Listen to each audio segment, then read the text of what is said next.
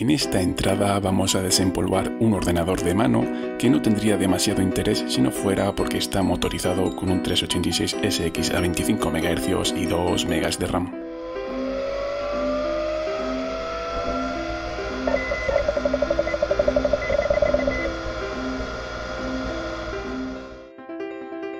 No he encontrado absolutamente ninguna información relevante sobre este PC. El manual no dice mucho más allá de la clásica advertencia de seguridad, temperatura de operación recomendadas y poco más. Tampoco he encontrado información referente al año de puesta en venta. A pesar de que la fecha de la BIOS es del 99, es bastante probable que haya sufrido actualizaciones durante su vida útil. El dispositivo en sí no tiene fechas en ninguna de la etiqueta. La primera pista fiable la encontramos en el manual donde hay un copyright del año 97. Quizá el documento más relevante de cara a datar la puesta en venta sea el certificado de conformidad europeo que está firmado en agosto del 95. Así que probablemente esa sea la fecha de lanzamiento y tengamos entre nuestras manos un PC fabricado un par de años después. Echándole un vistazo por fuera vemos lo limitado del dispositivo. Tiene dos pulsadores, uno de encendido y otro para mostrar un menú de configuración de la pantalla. Además vemos un par de ranuras PCM-CIA y bajo dos tapas un puerto serie RS232 junto a un conector de alimentación. Por atrás tiene lo que parece ser un puerto de infrarrojos, unos contactos de recarga y un puerto para una dock station. Mientras lo abro voy a dar un repaso al contexto en el que nos encontramos, lo cual no es fácil debido al baile de fechas. Si nos centramos en el 95, el 386 lleva casi una década en producción. En esta época ya no se venden PCs con esta arquitectura, ya que lo más habitual es ver 486 SX2, DX2 y DX4. Los más pudientes pueden acceder a los Pentium, que llevan un par de años en el mercado. Casualmente, agosto del 95 es el mes de debut de Windows 95, un sistema operativo que podría funcionar en este dispositivo si no fuera por su limitada cantidad de RAM. Aún así, en esta época MS2 sigue siendo el sistema operativo de referencia en PCs domésticos. Se podría decir que nos encontramos ante una máquina que está fuera de su tiempo, lo cual es habitual en el mundo industrial ya que usar hardware bastante experimentado da la robustez que requiere este ámbito de trabajo.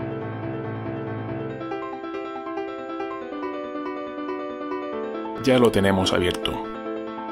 Me han llamado la atención los acabados de la electrónica. Podemos ver, por ejemplo, la borna de un componente soldado directamente al pin de un integrado, con la otra borna soldada a un cable que acaba en otro punto de la PCB. Otro ejemplo llamativo es una PCB pegada sobre lo que quizás sea la memoria RAM, con un cable soldado a uno de sus pines. Ahora vamos a ver qué tiene por dentro. Aquí tenemos una batería de litio de 7,2 voltios y 9,5 Ah, una pila para retener datos de usuario en la RAM, una pantalla táctil resistiva en blanco y negro de 200 x 320 píxeles, una placa base donde se conectan los puertos y la alimentación y la placa base principal. En la placa base vemos una memoria flash donde parece que está el sistema operativo y la BIOS, una controladora de PCM-CIA, un chipset del que no he encontrado ninguna información, 32K de caché para el procesador y el 386. En realidad se trata de un AMD Elan ST300, que es un clon del 386SX destinado a dispositivo empotrado. El 386 apareció en el año 86, siendo el primer procesador x86 de 32 bits y estuvo en producción hasta 2007, aunque este clon en concreto todavía se puede encontrar con bastante facilidad.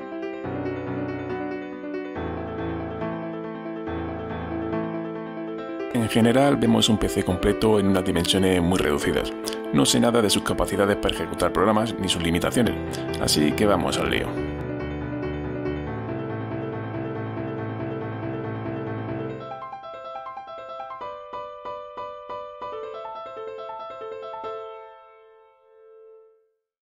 Cuando lo encendemos vemos que arranca MS2.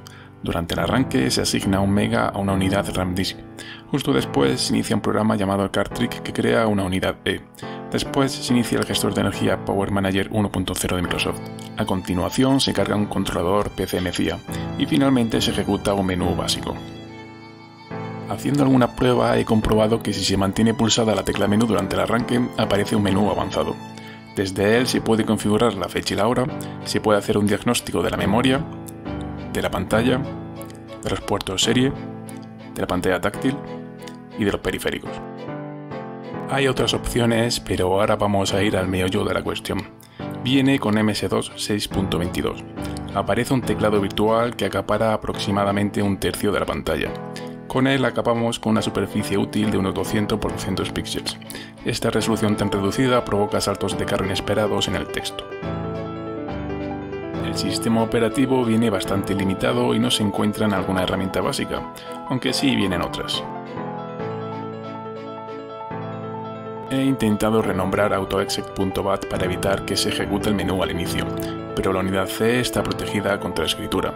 Si nos vamos a la unidad RAM Disk, podremos almacenar hasta un mega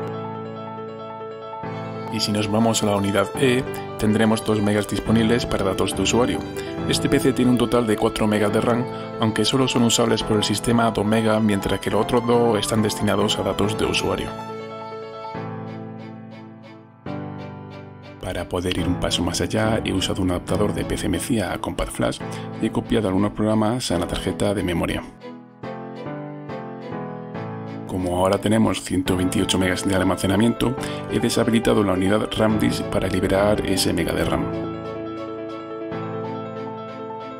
Para comprobar si el ordenador es capaz de ejecutar programas básicos en modo texto, he intentado usar QBasic, pero el modo texto del programa parece incompatible con la pantalla.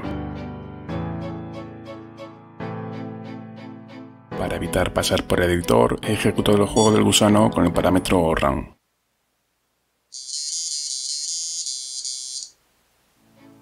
Con esto se escucha la sintonía de inicio, pero es imposible jugar ya que nos quedamos sin teclado. Además, parte de la pantalla se corta. He visto que al iniciar MS2 pregunta por la ejecución de un programa llamado CTTI del que no sabía nada. Buscando un poco parece que se trata de una consola remota para MS2, de forma que quizás podría controlar el dispositivo desde un PC más reciente. He usado un adaptador de RS232 a USB y desde la consola de Linux he intentado conectarme a la consola de MS2 a través del puerto serie. Quizá desde aquí pueda usar programas en modo texto. Para hacer una prueba rápida he ejecutado el programa de instalación de Windows 3.11. Según parece, la mayoría de los programas de DOS escriben directamente en la memoria gráfica en vez de en la consola, por lo que el programa se muestra en la pantalla del PC de mano en vez de en la consola remota. Una vez más, la pantalla aparece recortada y resulta imposible hacer nada ni siquiera desde el teclado remoto. Para probar otro modo de pantalla, se ha ejecutado Príncipe de Persia, que es un juego compatible con un amplio abanico de estándares gráficos. En esta ocasión se muestra solo la mitad izquierda de la pantalla, aunque obviando este detalle, el juego parece que podría funcionar sin problemas si tuviéramos teclado.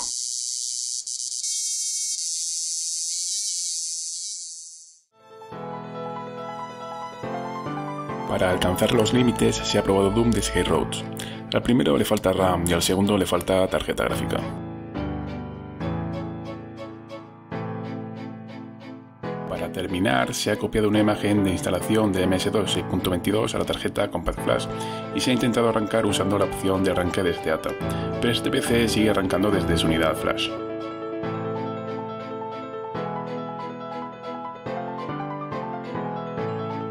En resumidas cuentas, se trata de un cacharro muy limitado por el tipo de teclado y pantalla que tiene de serie. Si no fuera por ello, se podría usar como un PC normal y corriente. Si tienes alguna duda, comentario, sugerencia o corrección, pásate por el foro. Puedes tener tu blog en Hardlimit completamente gratis, sin publicidad ni límite de espacio.